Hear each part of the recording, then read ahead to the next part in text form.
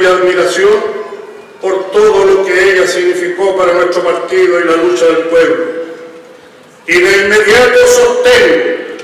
que nos ofenden y nos provocan gratuitamente aquellos que tratan de confundir diciendo que no representamos hoy el pensamiento de Gladys.